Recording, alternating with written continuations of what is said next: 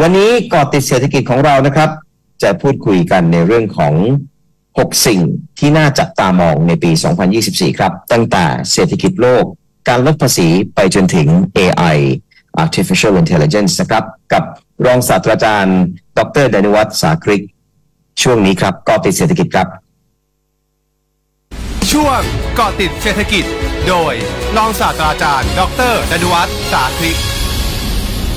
สนับสนุนโดย ยาแก้ไข้ขาวละออกล่องสีแดง และยาอมแก้ไอ ประสาทมะแว้งซองสีเหลืองบรรเทาอาการไอ ขับเสมหะ เลือกคุณภาพเลือกขาวละออ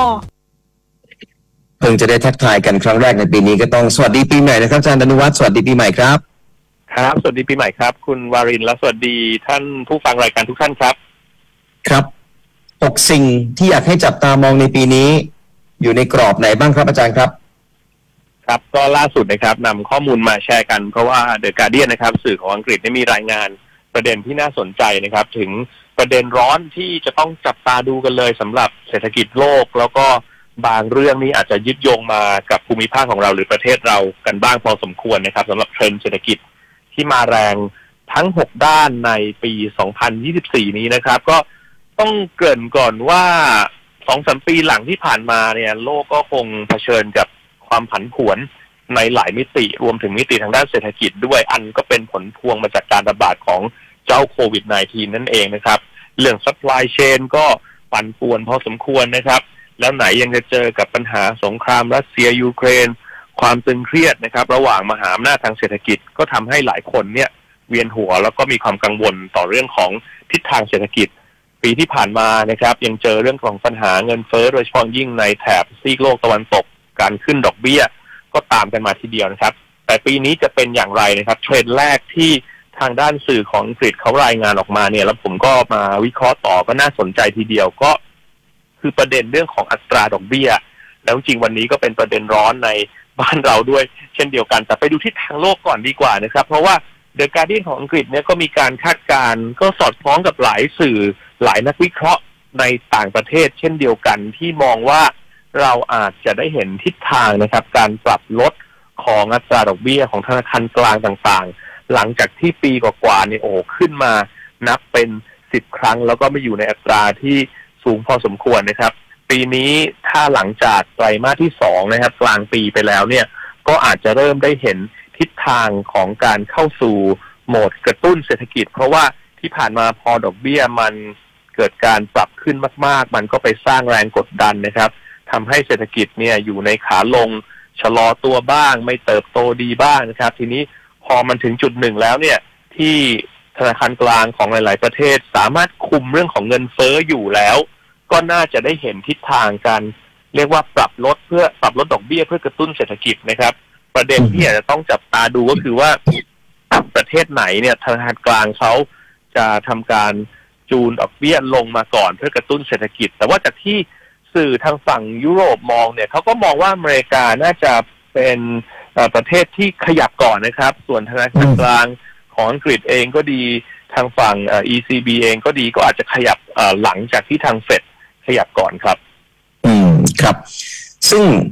เงินเฟ้อในแต่ละประเทศที่ทางธนาคารกลางของเขาเตรียมจะปรับลงมาเนี่ย มันไปยึดโยงกับ ปัจจัยอะไรบ้างครับ ในประเทศส่วนหนึ่งละแน่นอนภูมิรัฐศาสตร์ด้วยเพราะว่าทุกครั้งที่มีความตึงเครียดก็จะมีเรื่องของราคาน้ำมันใช่ไหมครับครับมันมีจากปัจจัยอะไรบ้างครับ ที่ทำให้เขาคิดว่าเขาพร้อมแล้วครับ ที่เขาจะคุมเงินเฟ้ออยู่เนี่ยฮะครับก็คงจะต้องไปดู คือเงินเฟ้อเนี่ยเอ่อหลังจากที่หลายประเทศพยายามใช้มาตรการ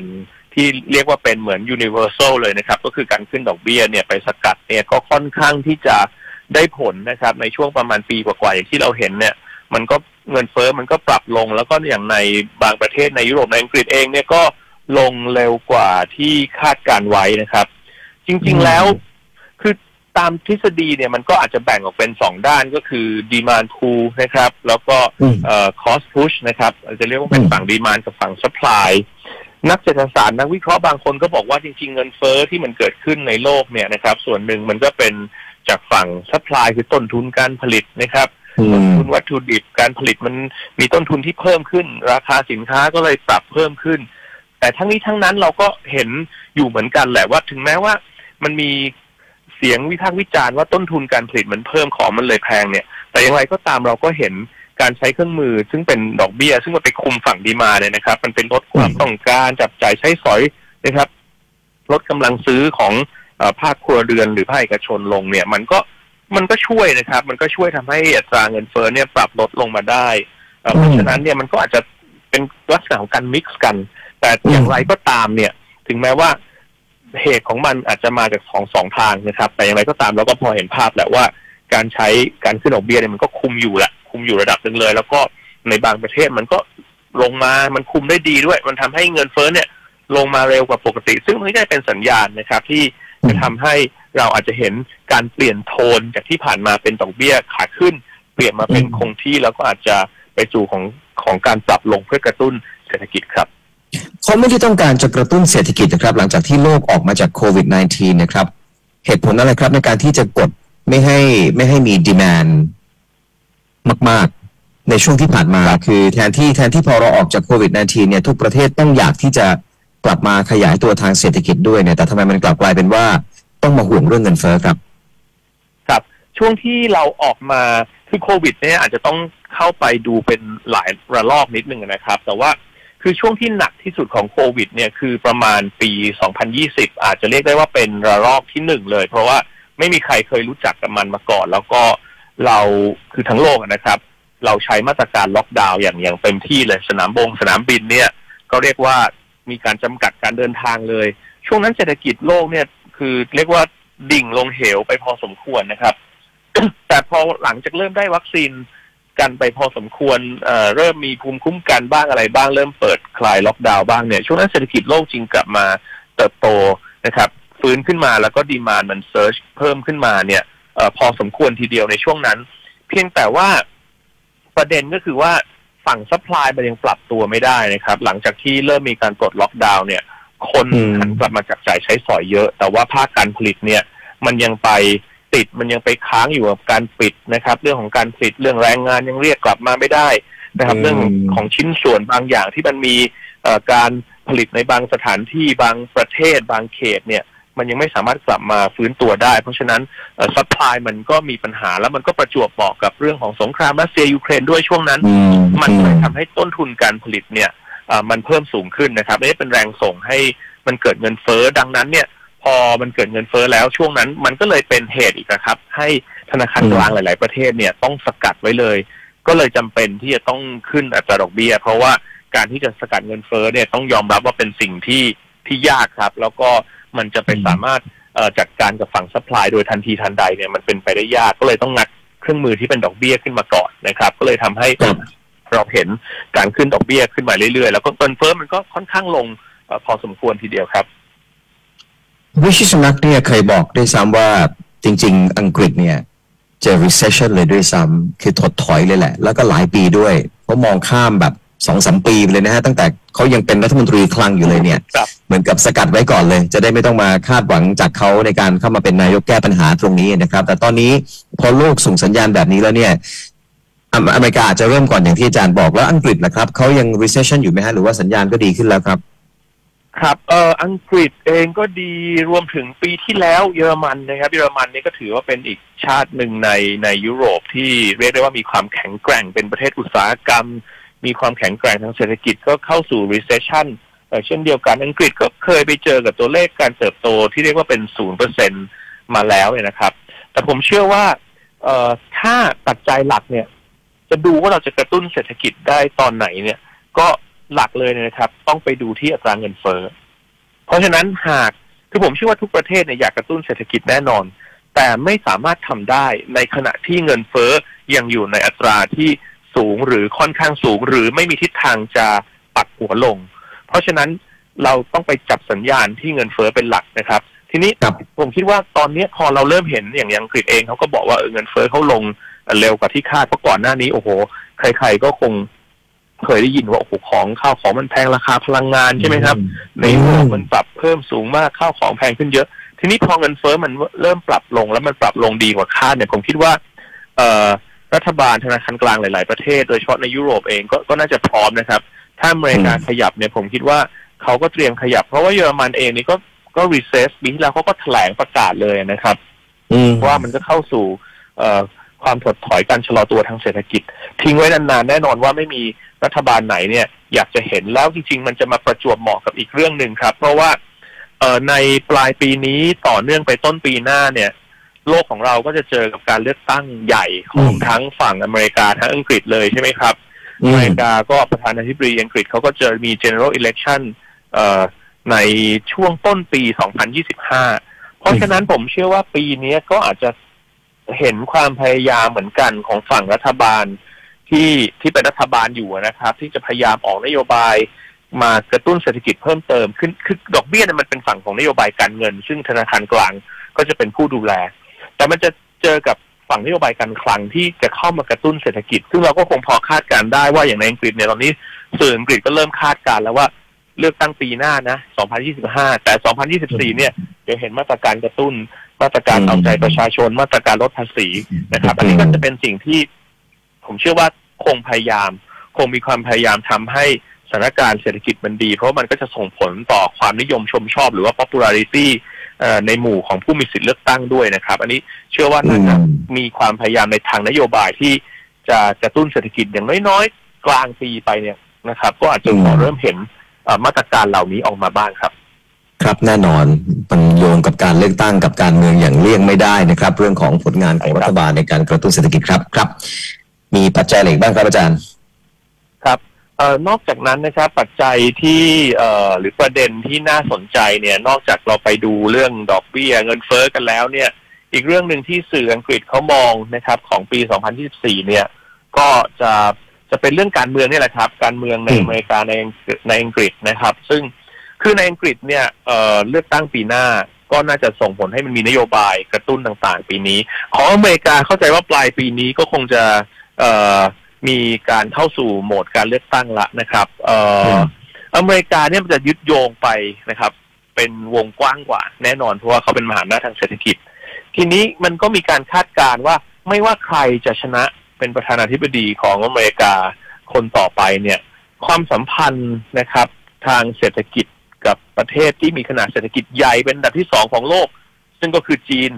ก็น่าจะยังอยู่ในภาวะที่ตึงเครียด เพราะฉะนั้น 2024 ปีนี้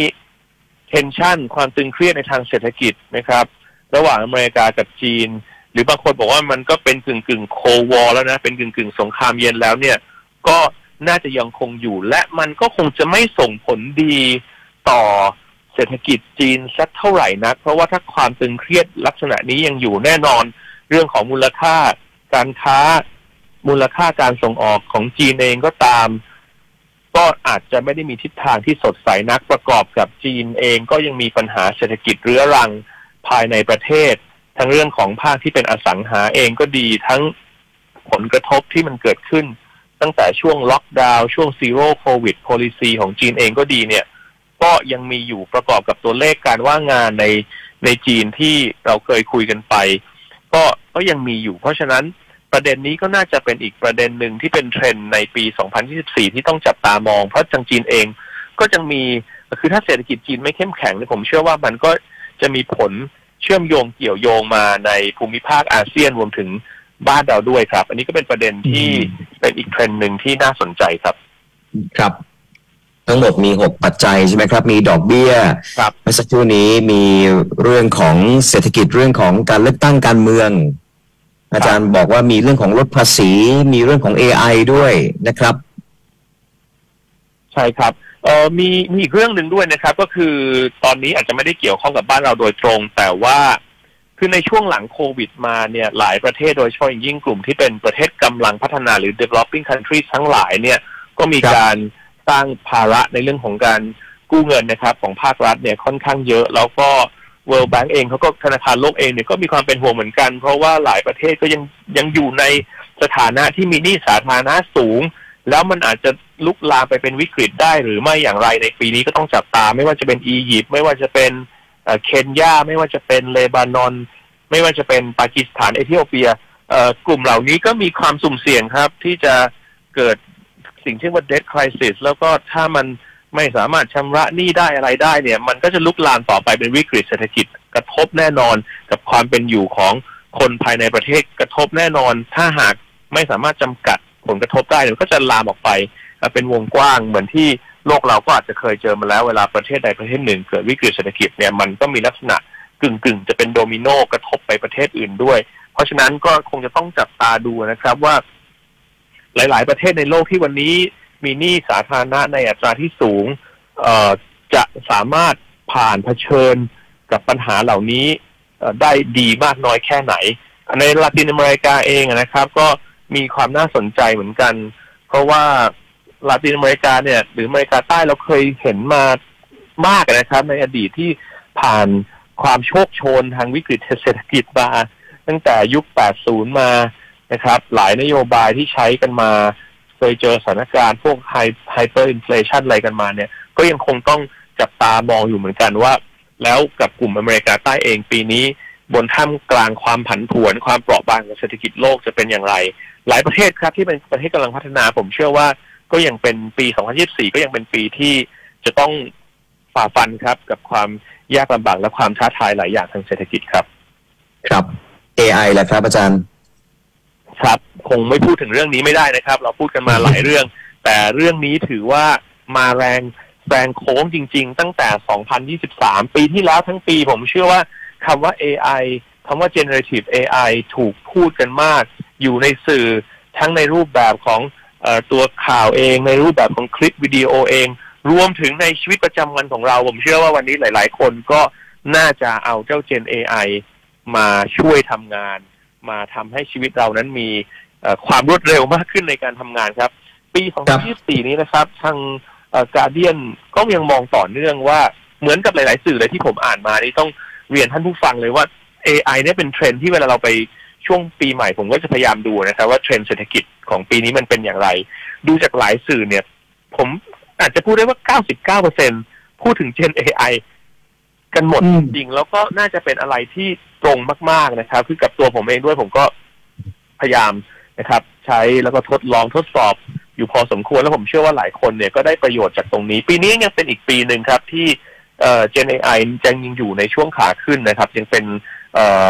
กราฟเนี่ยถ้าพูดถึงคนใช้ผมว่าจะมีแต่เพิ่มขึ้นเพิ่มขึ้นทั้งในฝั่ง user เอง แล้วก็ฝั่งผู้ผลิตเองเนี่ยนะครับ ผมเชื่อว่าก็หรือผู้พัฒนาเองเนี่ยก็จะพยายามพัฒนากันมา ต่อเนื่องนะครับ แล้วก็เพิ่มเติมทั้งในเรื่องของความสามารถเองก็ดีการตอบโจทย์กลุ่มลูกค้าเองก็ดีตอบโจทย์กลุ่มผู้ใช้เองก็ดี อันนี้ก็จะเป็นอีกกุญแจหนึ่งที่น่าจะช่วยยกระดับ productivity หรือว่าผลิตภาพของเศรษฐกิจโลกให้เพิ่มขึ้นได้ ดังนั้นอาจจะต้องโยงไปถึงเรื่องของการเตรียมความพร้อมแล้วครับ ให้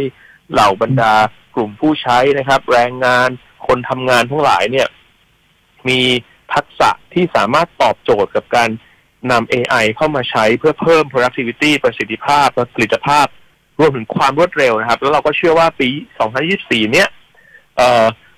คิดคำนวณแล้ว AI ก็น่าจะส่งผลบวกอย่างมากต่อการเติบโต คือช่วยให้เศรษฐกิจโลกเนี่ยนะครับ มันเติบโตแล้วก็มีประสิทธิภาพที่สูงขึ้นครับ ครับ อาจารย์เองได้พูดเรื่องนี้มาก็หลายปีติดแล้วนะครับ เห็นอะไรที่เป็นพัฒนาการชัดเจนมากครับในส่วนของบ้านเราในส่วนของ AI เนี่ยฮะ ของบ้านเราผมคิดว่าอันหนึงเลยคือเราน่าจะมีคนใช้นะครับตัว Gen AI ในการทำงานมากขึ้น ในในส่วนที่เป็นพวก corporate เนี่ยก็น่าจะเป็นเรื่องปกติไปละในปีนี้นะครับ ปีที่แล้วผมเชื่อว่าทั้งปีเนี่ย คงแบบปรับจูนเอามาใช้กันเยอะนะครับกลุ่มผู้ผลิตส่วนมากวันนี้ในบ้านเราก็คงจะเป็นบริษัทในโลกตะวันตกนะครับ ไม่ว่าจะเป็นทางฝั่งอเมริกาเองก็ดี นะครับ หรืออีกหลาย ๆ ประเทศเองก็ดีก็คงเป็นผู้ผลิตแล้วก็ขายให้เรา เราก็ยังเป็นกลุ่มยูเซอร์เป็นผู้ใช้นะครับอืมอยู่อยู่พอสมควร แต่อีกอันหนึ่งที่ผมมองว่ามันน่าจะเป็นความท้าทาย อาจจะไม่ใช่เฉพาะแค่บ้านเราแต่แน่นอนในบ้านเราด้วยก็คือว่า เรื่องของกฎระเบียบอีโคซิสเต็มต่าง ๆ ที่มันจะมารองรับนะครับ กับกับเจ้าตัวเทคโนโลยี Gen AI เนี่ยผมคิดว่าเรายังต้องเอ่อปรับกันอยู่พอสมควร กรอบที่เราจะใช้นะครับ การให้ความรู้การเตรียมความพร้อม ตั้งแต่ในโรงเรียนนะครับ ไม่ว่าจะเป็นระดับประถมมัธยมในมหาลัยหรือโลกการทำงานผมคิดว่า อันนี้ยังเป็นสิ่งที่เราคงจะต้องพยายามปรับให้ทันกับความเปลี่ยนแปลงเพราะ AI ก็พัฒนาตัวเองตลอดนะครับ แล้วก็เชื่อว่ามันก็จะตอบโจทย์ผู้บริโภคมากขึ้นเพียงแต่ว่าคนใช้เนี่ยมันก็ต้องใช้ให้เป็น ก็ต้องมีความเข้าใจให้ให้รอบด้านเกี่ยวกับเทคโนโลยีตัวนี้ด้วยครับครับผม ขอบพระคุณมากนะครับ อาจารย์ครับ ครับยินดีครับ สวัสดีครับนี่ก็เป็นเทรนด์ที่รองศาสตราจารย์ ดรดนวัฒน์สากริกนะครับนำบทวิเคราะห์จากกาเดียนเนี่ยมา ขยายความให้เราได้เข้าใจกันนะครับ ว่าอะไรคือ 6 สิ่งที่น่าจับตามองในปี 2024 ตั้งแต่เศรษฐกิจโลก ไปจนถึงเรื่องของ artificial intelligence เลยนะครับ